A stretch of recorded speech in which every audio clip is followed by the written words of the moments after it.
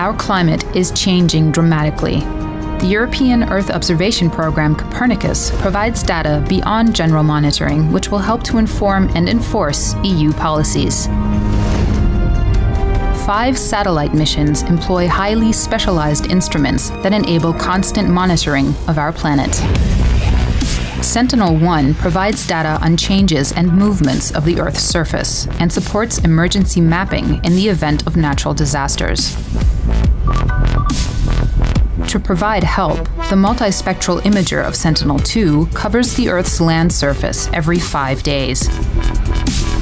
Sentinel 3 measures water vapor, cloud water content, sea surface topography, and sea and land surface temperature and color. Sentinel 4 provides hourly updates on air quality, including concentration of aerosols and trace gases.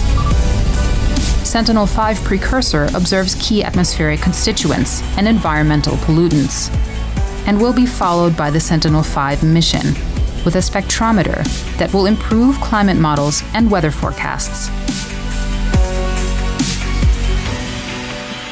Airbus Defence and Space makes vital contributions to all Sentinel missions and to the Copernicus program as a whole.